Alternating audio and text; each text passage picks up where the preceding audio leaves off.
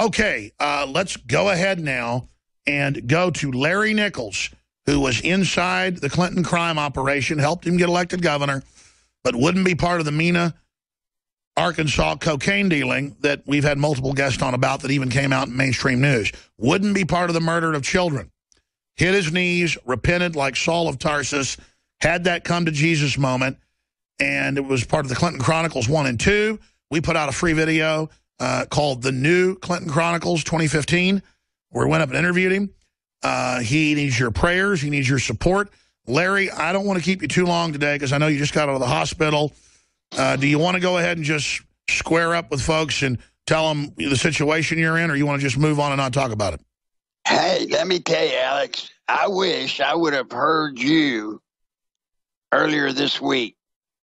I was told, not to get off the subject, I was told that with my lung situation, I needed to get the pneumonia shot and the flu shot. So I got them. I just spent four days in the hospital, nearly died. I didn't even know So- that. My, my God. Yeah. Just you know, folks, please beware about that stuff. Don't don't fall into that thing that it's a they said it was a dead virus, that it couldn't hurt you. Yeah, well let me tell you, it hurt me. Now, Alex, I got Well, I mean, Larry, as you know, doctors until five years ago would always say a sick patient with cancer or a pregnant woman should never take a vaccine. Now they more aggressively push it because they don't want anyone to ever think it might be bad. So instead they go, no, no, pregnant women need two flu shots. yeah. Sorry, Well, go they ahead. told me I needed to, but I just got the one of them with the pneumonia shot. Well, tell folks what happened killed to me. you. I mean, I, I, uh, you want well, to share? my lung collapsed. My lung collapsed. I just went in and I dehydrated. Everything in my body left.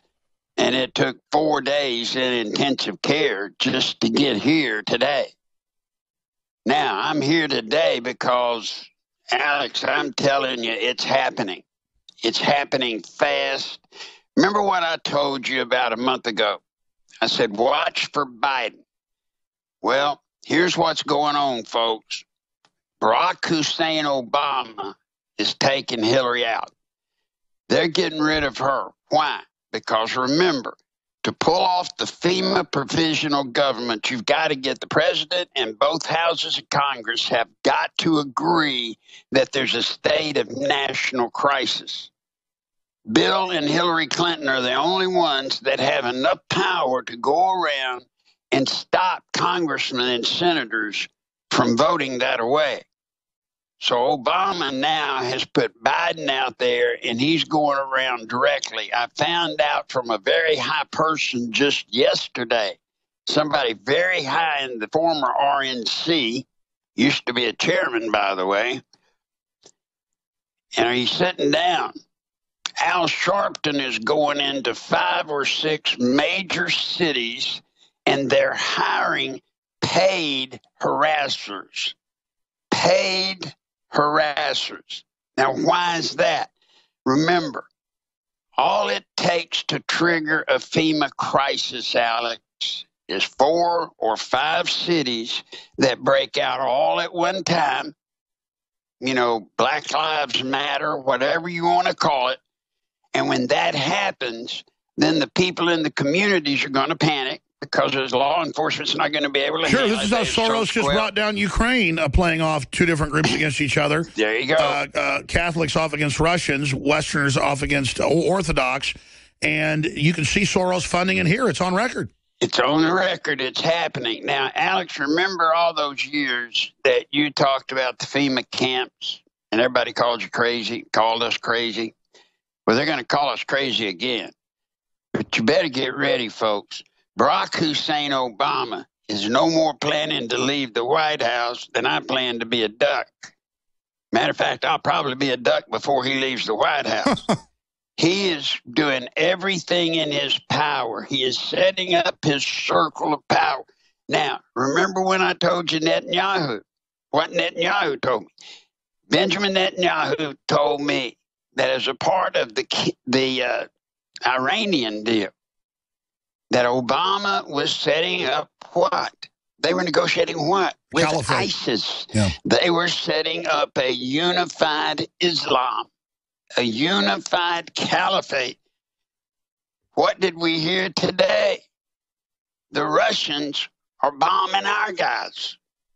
The Russians are actually bombing our guys. Now, our guys consist of nine people that we spent $500 million to train to fight ISIS. Alex, everything is moving towards Islam, but I got a story to scare you to death. Now, you and I are going to have to talk off air because people's lives are literally at risk. Just got this. Friend of mine in California, friend of yours, by the way, in California knows a person that details cars, has a big detail operation, and he details for the major car dealers in California. Let's just leave it there. He was detailing one, and it for a Pakistani dealer owner that owns three major dealerships.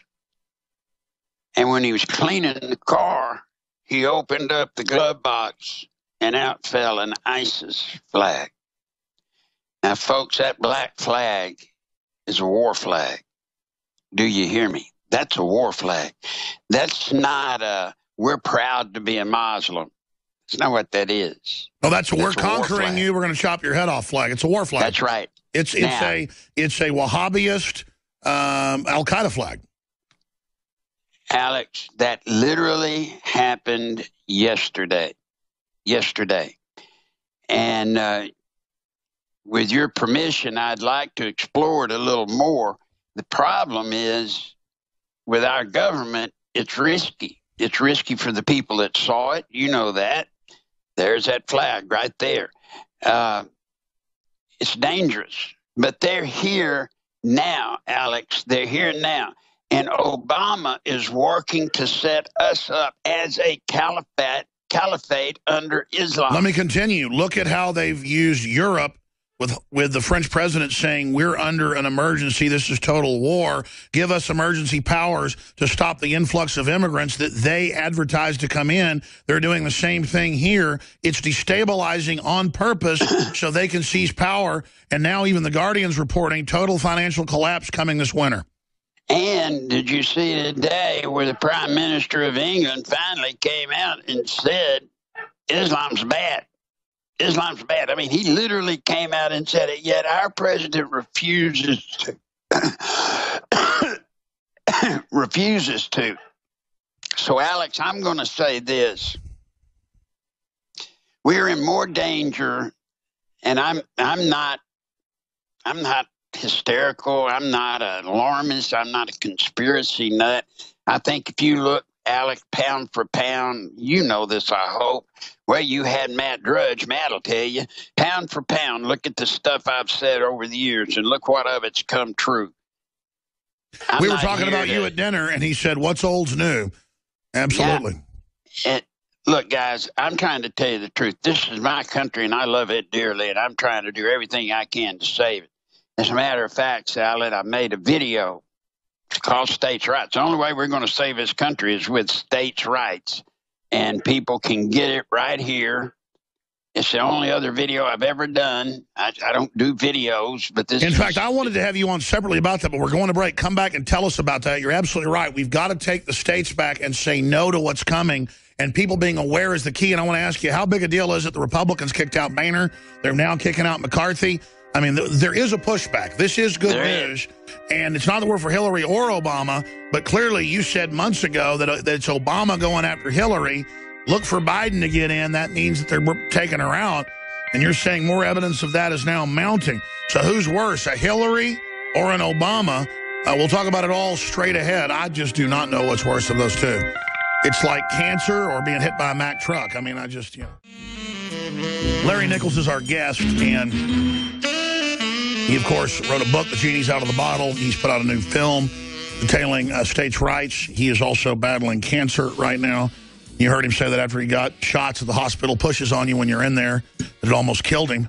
Almost killed my mother, almost killed my uncle. My grandmother got polio one month after she took it. She's 90 years old right now, but has been on crutches since the 50s when my mother was four years old. Just everyone I know has been maimed by vaccines. They go, there's no side effects, everything's fine. Uh, Larry Nichols will be with us 15 minutes in the next hour. And then we've got Wayne Madsen on huge Hillary Clinton news uh, joining us. Evidence suggests Clinton ran a parallel outsourced State Department. That was the headline this morning. I changed it to evidence shows Clinton ran a parallel outsourced State Department. but regardless, there is a war between these two groups going on right now. Uh, Larry Nichols, tell folks how they get this new film, uh, and that'll also support you and what you're doing because you deserve support. Uh, Alex, it's go to statesrights.video. States right, plural. S T A T E S R I G H T S. One word, statesrights.video. And I guess it'll be up here on, on your network. But now, guys, I'm telling you, the only way we're going to stop this is through states' rights. And some states got to move and got to move now. You asked an interesting question, Alex, before the break. Which is worse, Hillary or Obama? Let me tell you, we can stop Hillary. Obama pulls off separating us, we're dead. We're dead. Once they divide us up under the FEMA provisional, it's over, buddy. It's over. You know, Alex, I see every day. I got three people today told me they have turned off their television and all they watch is Alex Jones' program. So, buddy, whether you want it or not, you're in the firing line. And I'm sorry. I don't think it's a nice place to be right now. We're playing against some tough characters, very tough. But you better believe Obama wants this country. Obama wants a unified Israel, uh, Islam, and he's working every day to get it. And we're a caliphate. That's all we are to him. We are a caliphate. And you got to realize someday, excuse Ralph, someday, you know, you and I can sit in and tell people exactly what is involved in a FEMA provisional government. But basically, what it is, it's martial law. And you've been talking about these camps they've been putting up for years. And now Hillary talks about fun camps for men, and the yeah. Army admits uh, re- yeah. re-education centers. They even use the term re-education centers. Well, the only re-education they're going to do is to eliminate people that still believe in America. So I, I ask everybody, do yourself a favor. There's a trailer. You can watch the trailer for the video, but please get it and pass it around. We've got to get, Alex, one state. One state has got to stand up. We've got to get one governor. They think it's Texas. Up. They think it's Texas, and that's why they've indicted the attorney general and want to indict uh, Governor Abbott, the, the Democrats, right now. You bet. Well, if it is, problem Texas has got to be quite honest. They've got too many Mexicans. I don't know that. I don't know that you could get a majority of Americans in Mexico. I mean, in Texas, but. Yeah, but, I'll take any But the illegals aren't all voting. Here's the thing. The illegals aren't all voting for the Democrats. And I don't think that the average Mexican wants to be a socialist. So. Well, at this point, Alex, you and I have got to say the craziest thing you and I will probably ever say in our lifetime.